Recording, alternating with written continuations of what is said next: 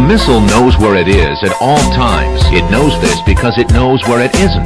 By subtracting where it is from where it isn't or where it isn't from where it is, it obtains a difference or deviation. The guidance subsystem uses deviations to generate corrective commands to drive the missile from a position where it is to a position where it isn't and arriving at a position where it wasn't. It now is. Consequently, the position where it is is now the position that it wasn't, and it follows that the position that it was is now the position that it isn't.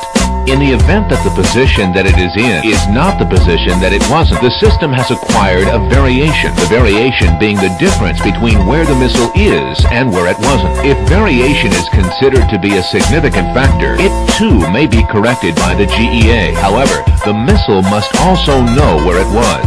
The missile guidance computer scenario works as follows. Because a variation has modified some of the information the missile has obtained, it is not sure just where it is. However, it is sure where it isn't, within reason, and it knows where it was. It now subtracts where it should be from where it wasn't, or vice versa. And by differentiating this from the algebraic sum of where it shouldn't be and where it was, it is able to obtain the deviation and its variation, which is called.